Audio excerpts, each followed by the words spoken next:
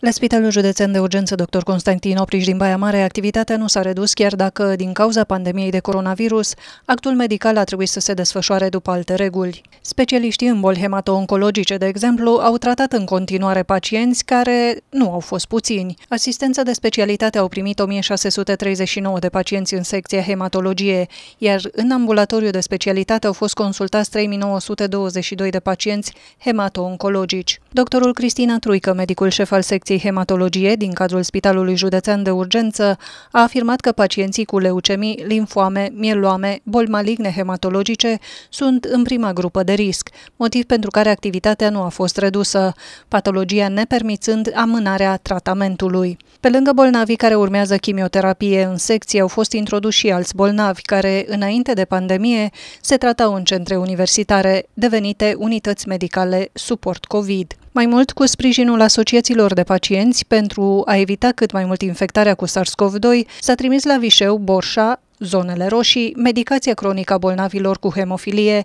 și a pacienților aflați în studii clinice. Totodată s-a apelat la comunicarea telefonică săptămânală cu toți pacienții cu risc, cei aflați în aplazie medulară post-chimioterapie. Tot telefonic s-au purtat discuții și cu medicii de familie ai bolnavilor, cu medicii specialiști din Vișeu, Borșa, Sighet, Satu Mare, Negrești, pentru a nu fi aduși pacienții în spital pentru probleme asociate non-hematologice.